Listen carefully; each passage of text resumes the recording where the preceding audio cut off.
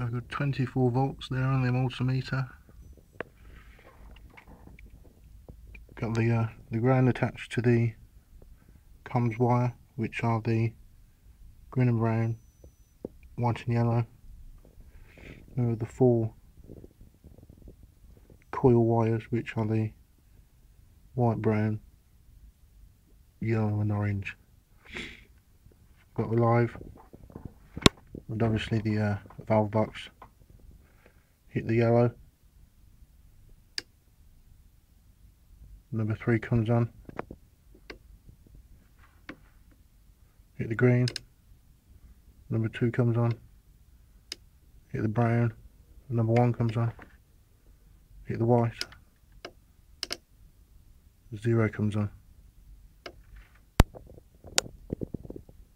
Cool